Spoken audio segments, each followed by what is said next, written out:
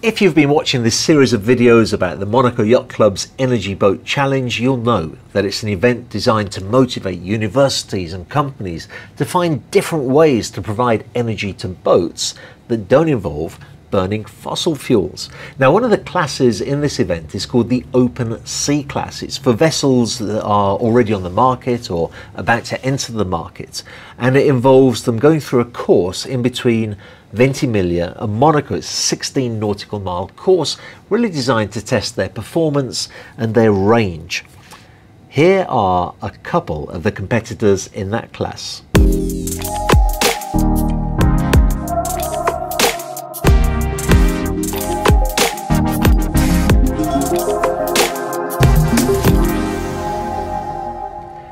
TU Delft Hydromotion Team. The TU Delft Hydromotion Team first investigated the power of hydrogen in 2021. They explored the possibilities of powering a boat using this abundant energy and found it to offer enormous potential. Not only is hydrogen a clean fuel, but it has an energy density that's 235 times greater than lithium ion batteries ensuring lightweight propulsion. Now, in 2020, the TU Delft Hydro team was set on improving the performance of their hydrogen boat, and so they opted to refit their 2019 vessel.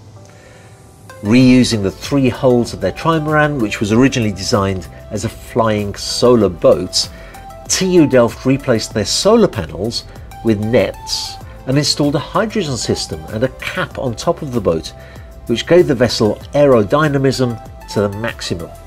The cap and the hulls were constructed from carbon fibre to ensure that weight was kept to a minimum and the vessel could handle rough conditions at sea. Weighing in at 1,000 kilograms, TU Delft's 2020 boat flew above the water at up to 40 kilometers an hour. With such a commitment to pushing the boundaries of what hydrogen fuel can do, it'll be very exciting to see what TU Delft brings to the contest this year. Vita Yachts. Inspired by tradition, powered by electricity is the motto of Vita Yachts. Founded in 2017, Vita Yachts have gone from strength to strength, developing 100% electrical powered boats that are not only environmentally friendly, but offer immediate controllable power comparable to fossil fuel powered vessels. Vita first made waves at the Monaco Energy Boat Challenge in 2018 when they entered their inaugural design, the Vita 9, and won the Open Sea Challenge, setting a speed record along the way. The latest vessel to come from the Vita Yacht shipyard is Lion. At 10.5 metres long, Lion is the first premium full production electric boat. Reaching speeds of up to 35 knots, Lion is powered by the company's all-electric V4 propulsion system, which incorporates Vita's proprietary throttle and touchscreen technology.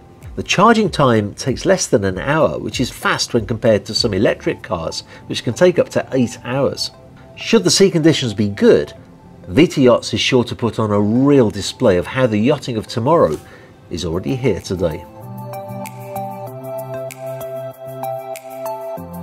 Actually, I know the CEO of Vita Yachts quite well, so if you'd like me to arrange for a live stream with him so that you can ask him your own questions, please do let me know in the comments below and I'll see what I can do to put that together. Really, that's it for the series of vlogs about the Energy Boat Challenge, but you'll be pleased to know that I actually attended the event a few days ago and I'm putting together a video to show you more details of what actually happened during the event with the competitors and the various designs of the yachts. I'll be releasing that next Friday. Make sure you don't miss out on it. And as you know, if you want to be sure not to miss out, subscribe to the channel and click on the bell icon too.